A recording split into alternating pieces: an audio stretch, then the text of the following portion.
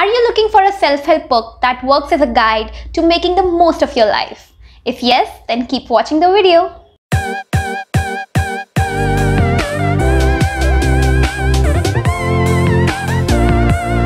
Mekya, hello G, this is Shelvi Garg. Thank you so much for watching Dancing Bookworm. If you're crazy about books, if bookshops and libraries are your heaven too, then do not forget to subscribe to the channel and press the bell icon so you know when a new video lands on my channel. I am back with another book review video. Today we are going to be talking about the book Make It Right, The Experiential Guide to Making the Most of Life by Subh Dasgupta.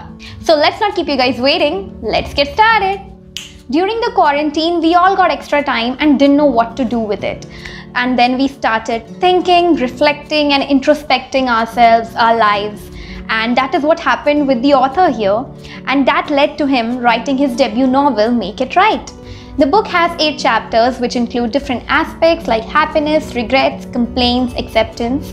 At the end of every chapter, there is a section called Food for Thought where the author has kind of given a summary of the chapter and also given key questions that we need to think about. When the author sent me the book and I read the first chapter, it set the tone for me.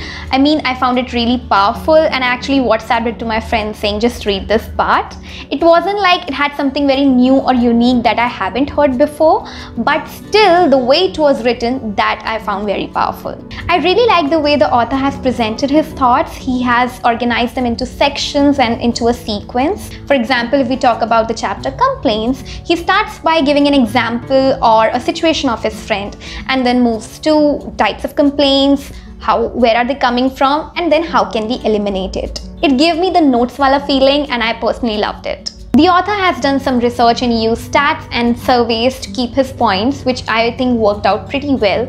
Because when you hear, like you hear things like, okay, you use a lot of mobile during the day, we all know that. But when you see the numbers, that puts things into perspective. He has also quoted Swami Vivekananda, Gita, Stoic philosophers, and others at different points in the book. Another thing that the author has very beautifully established in this book is the connection with the readers. I felt like I know the author, I am with him on his journey of self-love discovery during the quarantine and that is something that not all authors can do, I believe. I have read many self-help books and many a times it just feels like an advice Coming to the language of the book, it's smooth and easy. Maybe the absolute beginners may need to Google or use a dictionary for a few words. I would have enjoyed this book more if the content was more in-depth and gave me something unique which I have not read before. Maybe I've read many self-help books, that is why I felt many general things in here which I have already read. But if you are just new into reading self-help books, then this book is for you. Go for it right now. If you're like me who have read self-help but need reminders, for example, the chapter Seize the Day worked quite well for me because apparently I was not seizing the day. I was wasting my time and everything. So that gave me a reminder that, you know, gave me the motivation to work, that gave me the motivation to shoot again. I was not shooting for past two months because of you know the lack of motivation. So that worked out quite well for me. So if you are any one of these if you are just getting into self-help or you need reminders you need motivation to get into action then this book is for you.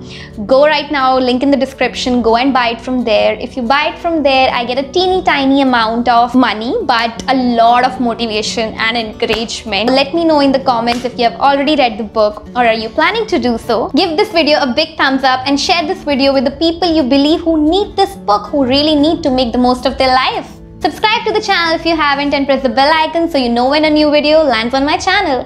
This is me Shelvi signing off. Aloha!